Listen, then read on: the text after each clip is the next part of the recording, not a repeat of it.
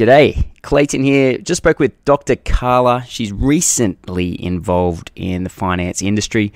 Got some pretty cool insights around uh, females in, and uh, about mothers in particular. And we talk about sort of the financial planning strategies on how to uh, sort of help people and families start thinking about these type of things earlier uh, than they normally would. And to address this problem, uh, she's created this app. It's called Longevity, and we go into how it feels like can help women in general. Um, so hopefully uh, you enjoy. This episode is proudly sponsored by NetWealth. Launching nearly 20 years ago, this ASX listed company is ranked number one for overall platform functionality and user satisfaction by investment trends for the past three years. As the financial advice landscape changes, it's important now more than ever to embrace new technology and enhance the way you do business. With this change comes your chance to innovate, explore new perspectives, and realize new efficiencies. NetWealth is here to support you on this journey by providing you market leading technology, excellent customer support, and expertise to help you innovate in your business. Visit the NetWealth website to learn more and get the PDS which clients should read before making a decision. Products issued by NetWealth Investments Limited. So you, you're, you've brought to market a longevity app. Mm-hmm. Tell me, you know, so how did you go from the agency there to there to here? Yeah, another big, another giant leap. Yeah. Well, I think the, that being at um, the agency helped me. Um, I guess it brought to my attention the issues around financial security or financial insecurity in retirement, and that it was particularly an issue for women. Well, ha- ha- the women retire with half of what men do. Yeah, around about yep. half, um, twice as likely to live in poverty uh, in old age God. as men. God. And this is actually one of the most ones that really hits me hard because I hear a lot of um, stories about this statistic, uh, which is that the fastest growing group of homeless people in Australia are women over 50. So, and I hear some horrible what? stories because people come up and, and you know talk no. to me. Yeah, and women are living in their cars, uh, getting in, and getting up and going to work. Um, or Stop having it. yeah yeah it's it's a it's a real crisis um, in Australia in, yes in Australia yeah um, and I through through my knowledge of those kinds of issues I, I ended up with a very well um, a very thorough understanding of the retirement system the superannuation system, how it works, how it doesn't work. Yeah. Um, and that and that sort of uh, probably made me um, with a fairly high level of financial literacy than I otherwise would have had I not been in that role. Because I like you know you know I don't come from a finance yeah, background. Yeah, yeah, I get it. Yeah. But that's what sort of got me started thinking about this. And um, when I was, uh, I don't know, maybe I don't know, four or five years ago, I was doing my MBA. Hmm. And the last subject, um, which was 2016, I finished my MBA, they put you in a room with uh, a corporate partner who has a real world problem that they're currently trying to fix. And they, uh, they said, the, the problem we're trying to solve is people aren't preparing for retirement. Go fix it. And it could be anything. It could have been a policy uh, proposal, it could have been an ad campaign, it could have been anything. It didn't have to be tech or an app. But I was like, ah, this is my jam because I know that this is a gendered issue. Yes. And I know a lot about this problem. Yes. And I wasn't solving it for women, and I'm still not solving it just for women. Longevity app is not just for women. Clearly. Um, yes. But I knew that I could crack this, or I may have a good a good crack at it. Uh, and so, long story short, the end of that three, four week process, we ended up with what was the first prototype of longevity. And it had such amazing resonance with the people that we tested it with, with the company that we that we proposed it to. We still have really good relationships with them. Um, that we decided to go forth and set it up as a business. And I was on maternity leave at the time, had with my second boy. Good on you. And I'm like, I've got some free time. Good like, on you. I'm so stoked. I love those and, stories. And uh, so I, I, you know, sort of took on the lead. Yeah. Um, got us some initial funding, and then last year, my co-founder and I just really sort of um, committed to it, and I, you know, worked full time on it, developed the tech. The, the, app's now built. It's not up on the App Store yet. Right. It's on test flight. Um, right. So it's like it's up. It's it's pretty much ready to go. Um, so those like fear, I keep having people come up to me and they're like going, I can't find it. They've got their phone out. They're like, I can't find it on the app. So I know it's not there yet. Sorry, right. but it's coming soon. Yes. Um, yeah, and so that's sort of how I I went from um, gender equality into uh, tech and fintech. Yeah, That's and the thread. and and talk about what it is, like how how, How, you well, yeah, the actual product. That, yeah. That's a very probably relevant thing to do. Yes. So, um, Longevity app is solving that retirement gap through micro transactions. So, allowing you to automatically top up your superannuation account, your existing super account. We don't make you switch, or we're not setting up our own fund. Hats off to those who do, uh, but we uh, we allow you to automatically top up your super whenever you spend, and so it could be going to Coles um, and spending hundred bucks on your weekly groceries, and then having one dollar or one percent. We work on a percentage as opposed to a roundup automatically go into your super.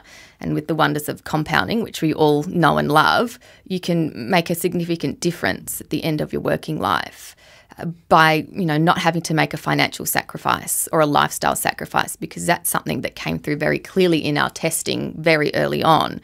Um, that if, if people in their you know 20s and 30s 40s when you actually need to start thinking about these things if it meant that they had to sacrifice you know a house deposit um, or a holiday or you know all those sorts of things that they're not going to do it so we had to find a solution which would mean they could make a meaningful difference without having to make um, some kind of immediate lifestyle or financial sacrifice. Yeah. So that's what longevity enables people to do. It's a funny thing, this whole um, super gap, because part of me thinks, well, you know, a big part of me thinks it shouldn't be about um, us having to, you know, split our super or women having to top up more of their own after tax dollars into their super to catch up. Um, there's a fundamental flaw in the system uh, if that's the case.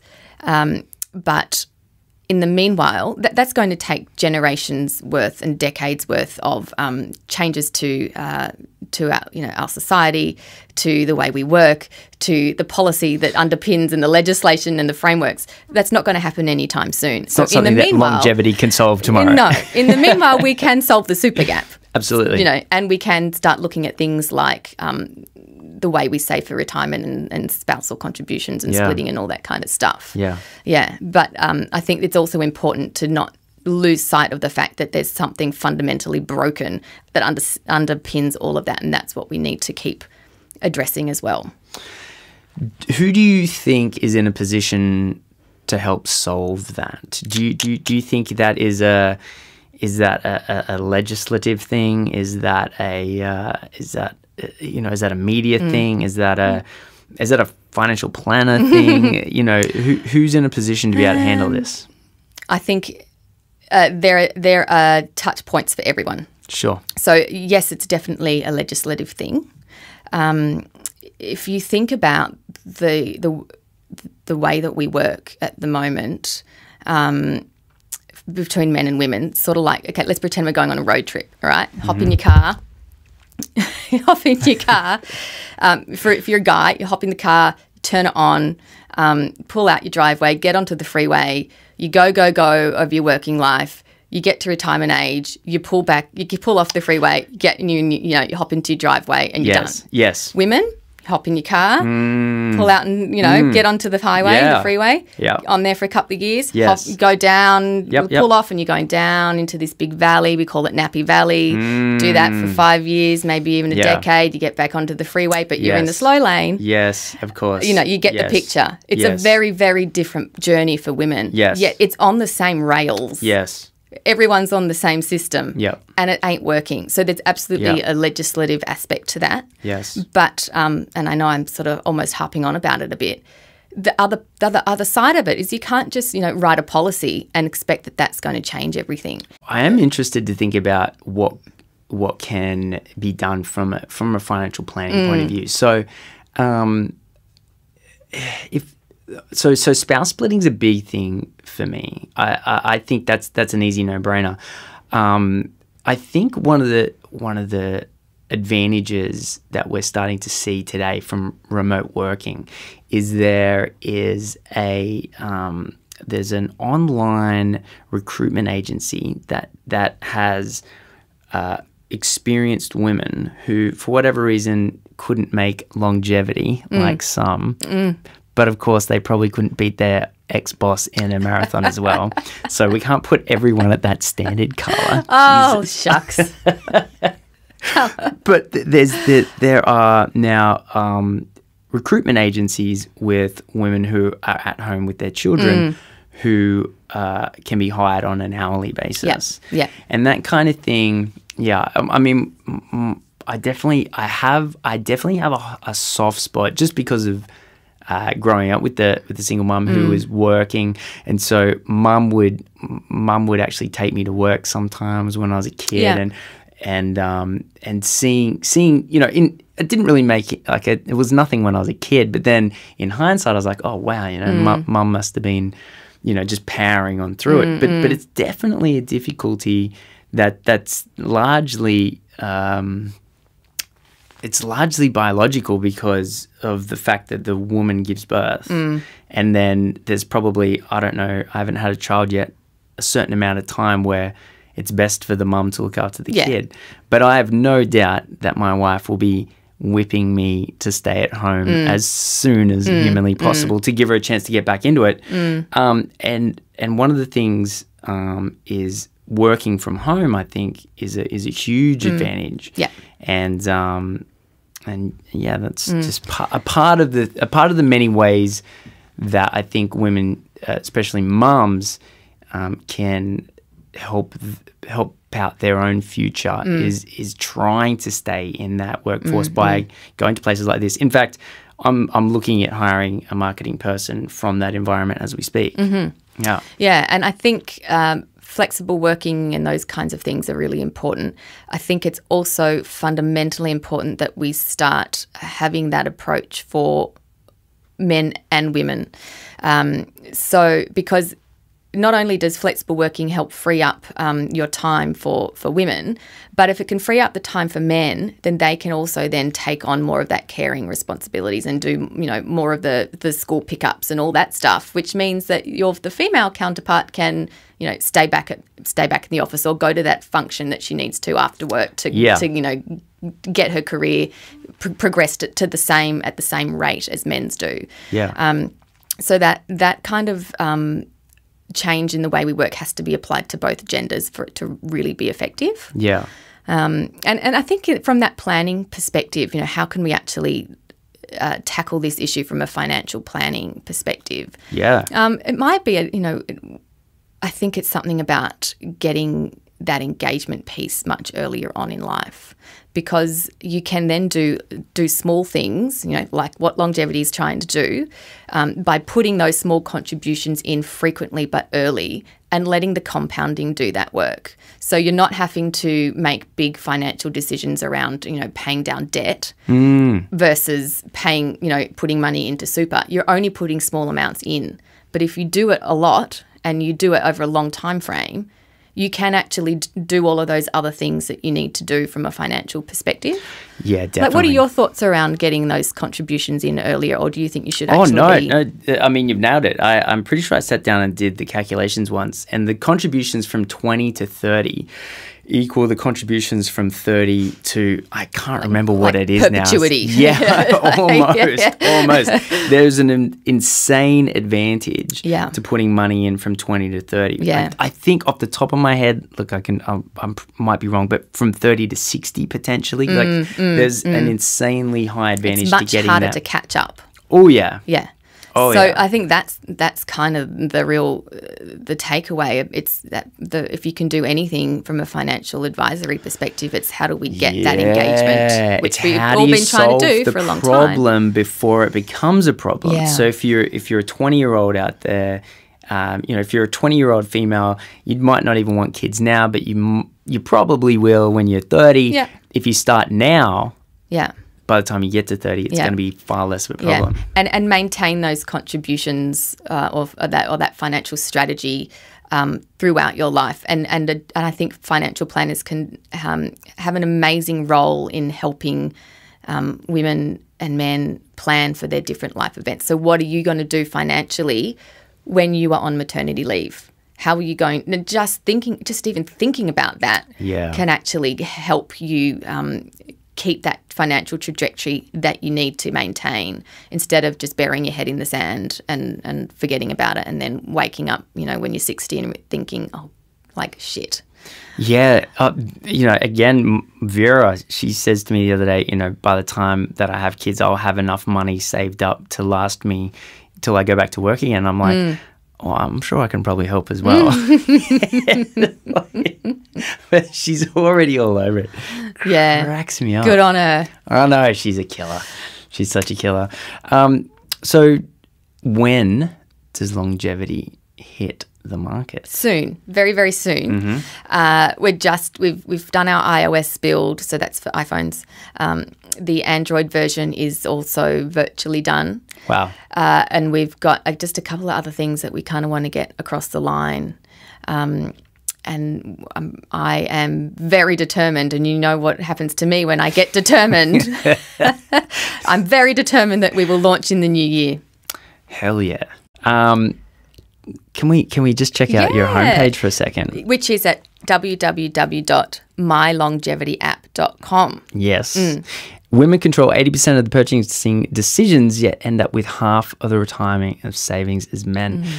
Yeah, that's uh, that's so. So it's certainly a, a female-focused fintech. Yeah, yeah, yes and no. So at the moment, I'm actually like A/B testing my website. Mm-hmm. So I've I've been playing around with the different sorts of messaging to see what actually gets um, gets the traction so that we kind of can that will sort of help to inform our launch campaign and that kind of stuff. So the website isn't always so female focused. Right. It's just um, it's very in fitting um, with in keeping rather with the sort of conversations we've been having today. Um, but it's not always like that. But we do actually have um, I think 65% of the people who have registered for early access when we launch are women. Awesome. And I think, um, let me think off the top of my head, I think over 60% as well are in the age range of 30s and 40s. 25% are under 30. So there's actually a really large slice of younger people, like true millennials, mm. who, who are interested in the product. So this, this kind of um, assumption that uh, younger people don't care about super I think there is some truth to that. They've got other priorities in life, but it's certainly not entirely the case. And I think the, the success that we've seen of some of these younger millennial focused super funds uh, in this space, you know, the, the spaceships and the, the Zupers of the world and Grow, etc., actually de, um, debunk that myth it's, mm. it's not necessarily that um, younger people don't care about their superannuation. It's, I think it's more that they don't have the products, tools, and services that they actually want to engage with. Do you see any pivots on your horizons? Um, well, I, am not sure. Not at this point in time. Mm. I hmm. think we're pretty clear about what our true north is. Awesome. I think what we will see is uh, additional product features coming in, and that's always been part of our product roadmap and our business roadmap. But it what came through very clearly for us when we first started putting together our first prototypes is that um, the the proposition of what the app does needs to be very simple. So if we start incorporating things like, you know, short-term savings and save for a car or save for, you know, whatever it might be, a holiday, was confusing and adding in other insurance products or you know rewards programs at that point in time the yes. users were like well are you a car app yeah. You know so we had to make it incredibly simple. We do one thing and then you can once people have gotten their head around that yes. you can start introducing other features and other services and offerings. And um, so from an advisor's point of view you would see this getting used as a tool for say uh, the the older children of clients for example. Yeah that's right. Um, and the good thing about us is, is, is, we're not a super fund. Yep. Um, we're not a bank. So we are very agnostic in that way and very genuinely independent. Mm. So um, we support existing into any um, top ups into any existing fund. And it's so it's a very easy, accessible thing for people to use. Is you know how there's open banking? Mm. Is there open super? Mm-mm. No, not at the moment. Okay. Yeah. Well, that that, that Yeah. ruins that idea then. yeah, I mean, look, it'll be interesting to see how it evolves. I mean, at, at the moment, open banking, I think, is really. Um, it'll be interesting to see uh, when does that actually come into play, like July next year or something. I think Yeah. technically the banks have to start getting on board with that. What that actually does in, in relation to super, I'm not sure, but yeah, it'll be interesting. Yeah, it'd be it would be interesting if if not only would you be able to deposit into um, other super funds, but even help them make investment decisions without having to swap as well. That would be potentially very interesting. Very interesting. Anyway, um, it's been phenomenal to have you on here. Um, I, I it, it's always interests me when I see people who come from different backgrounds that that join the finance industry. Yeah. I think there's always a really good sort of fresh eyes approach. I don't see a lot of that. Do you see much of the newbies coming in? Because most people I know have got a financial background who then yeah, to do something else. no, I don't see a lot of it. I just I always go back to LearnVest and and uh, the pers- the the um, I can't remember the, her name, but she started LearnVest and ended up selling it for you know like half a billion dollars over in the US, and she came. Love from it. psychology. And I always think um, sometimes people in finance are so financially focused that sometimes we miss the forest Mm. for the trees. And so I'm always really interested to have these type of conversations to see uh, what other people that aren't from finance are talking about Mm. that are focusing on. Um, I'm really interested to see if if uh, it, it remains a, a, a an initial female focused product. I- Um, the, the, uh, we interviewed someone not long ago. Uh, her name's Sky, and she started Spender. I love Sky. Yes, She's a legend. And yeah. and and though she'd sort of started with the idea of uh, females in crypto, Mm. um, she said that the majority of her clients are still men, and so it's Mm. Yeah. one of those things. Yeah. I think, e- ev- but I love all the push because I don't think guys care too much. I think Yeah. we'll do. I, I, I don't think it's a massive thing.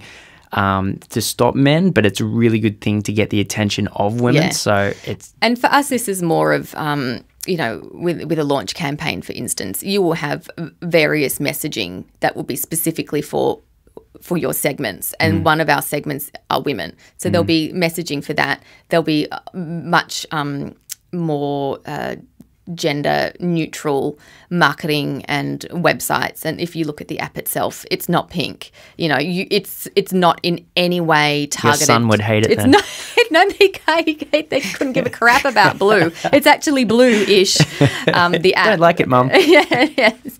Um, it's it's absolutely not at all something which is meant just for women. I wouldn't.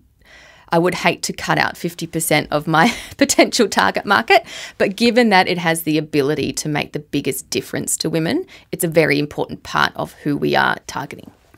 um, I, I've got I've got no doubt that any push in the direction of women is great for the industry as a whole. Um, even financial advice, it's becoming. There- There's definitely better. There's definitely arguments to say that women make the best financial planners. Um, Is it? Yeah, definitely because. Oh. Yeah, yeah, yeah. Because um, financial planning is very much associated around uh, interconnected. You know, Yeah. one person creating a relationship Yeah, with another, yeah. talking about their life purpose and dreams questions and- yeah, absolutely. And then then the uh, then the investments sort of taking care Mm, of themselves in, in, the, in the background. Um, that, it's been a big sort of change in financial advice over the last few years, and, and still going through a massive change. Um, I don't I don't think it'll ever become sort of. Uh, gendered one way or the other Mm. i think we'll probably just get it to a point where uh, sort of the way that maybe will, will end up happening is is there'll be um, uh, like two types of advisors where it's one is more psychologically based and the other is more Mm. analytically based whether that breaks off into genders who knows but um, yeah look it's it's it, i think um, finance is becoming far deeper and richer and focused on the, the outcomes that people want which is really where financial advice is headed as well. So, uh, for you to come in and share your experiences with the direction and the evolution of, of advice and, and finance in general, it's been fantastic. Oh, it's been my pleasure. Thank you so much. And uh, yeah, really appreciate it. Thank you. Well, I have to come back when we launch Done. and let you know how we go. Yes, that's uh, well. I mean, a lot of people that listen to this podcast are, are younger advisors as well who launch Mm. uh, their own businesses, and, and, and, and and in our Facebook group, which is pretty uh, pretty popular. Uh, when someone starts a business, it's always a really big thing. Mm. So um, I think whenever someone's launching something, um, sort of any advice that you could share as well is Mm. super Oh yeah, I'll, I'm sure I'll have a lot of that. awesome. All right, well, thank you so much for coming in. Thank you. Cheers. Been a pleasure. Bye. Bye.